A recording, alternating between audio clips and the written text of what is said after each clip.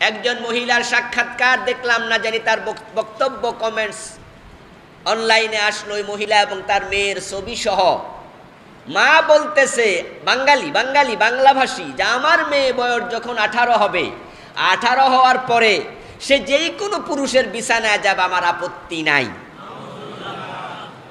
যদি কোনো ছেলে আমার মেয়েকে বিয়ে করতে এসে প্রশ্ন করে, আপনার মেয়ে কি ভার্জিন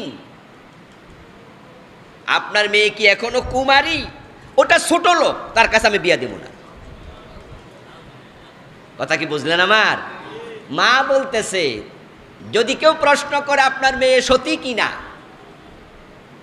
তার সতীত্ব আছে কিনা, সে ছোট লোক, ওর কাছে মাইয়ে বিয়ে দেবো না। আবার আপনারাই বলেন, যেই মা তার মেয়ের বয়স তখন তেরো, এখনও পাঁচ বছর বাকি আছে, আট, আঠারো বছর হওয়ার পরে যা ইচ্ছা তাই করুক।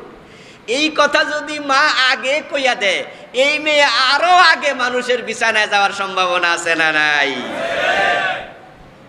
তোদের পেট থেকে ভালো মানুষ আর হইব কেমন? নাস্তিকে তো হইব। চোর ডাকাত হবে, খুনি হবে, লুচ্চা হবে বদমাস লম্পট হবে। এটাই স্বাভাবিক। এটাই তো স্বাভাবিক, তাই হচ্ছে।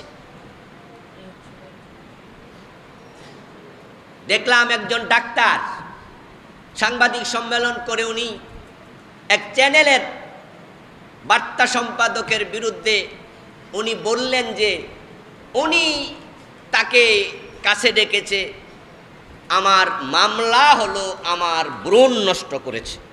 আমার বেবি ইংরেজিতে কইতেছে আবার। আমার বেবি নষ্ট করেছে। হি টোল্ড মি সে আমাকে বলেছে, কি? এই এই এই। মানে প্রাকলি ইংরেজি বলতেছে, সাংবাদিকরা গিলতেছে নিউজ করতেছে। ও বেটি, তোর বিয়া হয় নাই। বেলি বলছে যে উনি আমাকে একবার বিয়ের আশ্বাসও দিয়েছিলেন। আর এর মাঝে বেবি হইয়া গেছে। বাংলাদেশে, এটা ইউরোপের কোনো কাহিনী শোনাচ্ছি না। উনি আবার মামলা করতে আসছে। যেই মেয়েকে বিয়ের আশ্বাস দিলে পরের বিছানায় চলে যায় ওই মেয়েটা যে বেহায়া, নির্লজ্জ, তা বলার জন্য কি শিক্ষিত হওয়া লাগে? যে বার্তা সম্পাদক মেয়েটাকে বিছানায় নিয়েছে, সে নিশ্চয় দোষী, তাতে আমার কোনো সন্দেহ নাই। সেও অপরাধী, কিন্তু যেই মেয়ে ইশারা দিলে বিছনা যায়, সে খুব সতী নারী, ঠিক না? আচ্ছা যে বেবিটা হইয়া গেছিল ও আবার বলছে যে, না, এটা নষ্ট করো, নষ্ট করছে। আচ্ছা নষ্ট যদি না করতো, এই বেবি কি খুব আল্লাহর অলি তো সমাজে এখন যারও সন্তানের অভাব নাই, আর যারা নাস্তিক হয়, দিন বিরোধী হয়, তাদের অধিকাংশ রক্তের মাঝে সমস্যা থাকে। অতুল্লিম বাদা জালিকা জানিম। যারাই দিন বিদ্বেষী হবে, তাদের প্রবলেম আছে প্রবলেম অরিজিনে প্রবলেম থাকে।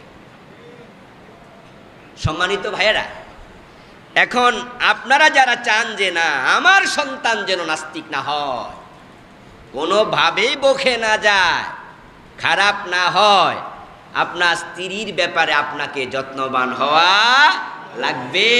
তারপর দার ব্যাপারে স্পেশাল টেক কেয়ার করতে হবে। সন্তান পেটে আসার পরে।